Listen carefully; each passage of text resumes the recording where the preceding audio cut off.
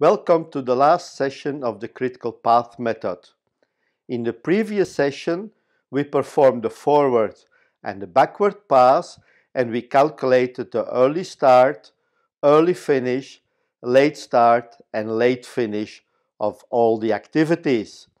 What remains is the calculation of the float or the slack and the identification of the critical path. So let's have a look at the float or the slack. This is the diagram with all the numbers we found at the end of the last session. Now we are interested in the green numbers, which are indicating the slack or the float of those activities. The formula on the top right defines the calculation of the slack or the float and the slack is equal to the late finish minus the early finish or is equal to the late start minus the early start. For activity 2, we can calculate the slack by subtracting 1 from 3 or 2 from 4. So we find the slack equal to 2. For activity B, we see that early start and early finish relative to late start and late finish are the same. So their difference is 0 and activity B as a slack equal to 0.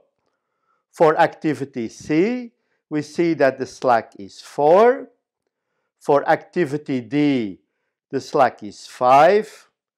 For activity E, we see again that the early start is equal to the late start and the early finish is equal to the late finish, which gives us a slack of 0.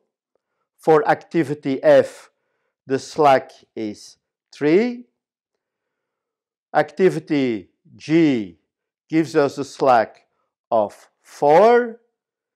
Activity H, a slack of 0 and finally, the activity J also has a slack equal to zero. So now we can go to the next slide and identify the critical path. The critical path we can start in this case by identifying all the activities which have a slack equal to zero. The first activity with slack equal to zero is activity B. So the critical paths start at activity B. The next activity with slack equal to zero is activity E.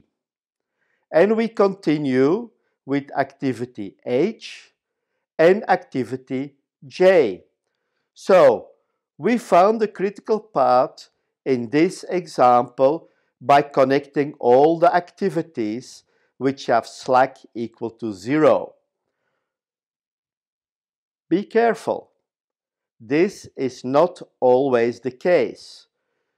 The critical path is given by the activities with slack equal to zero only when the early finish and the late finish date of the project are the same. If that's not the case, you cannot make this conclusion. In the next session, I will explain to you what the exact definition of the critical path is. But for now, we identified the critical path. We did a lot of calculations. You did a great job tracking all the work we did, but we are not finished yet. See you in the next session.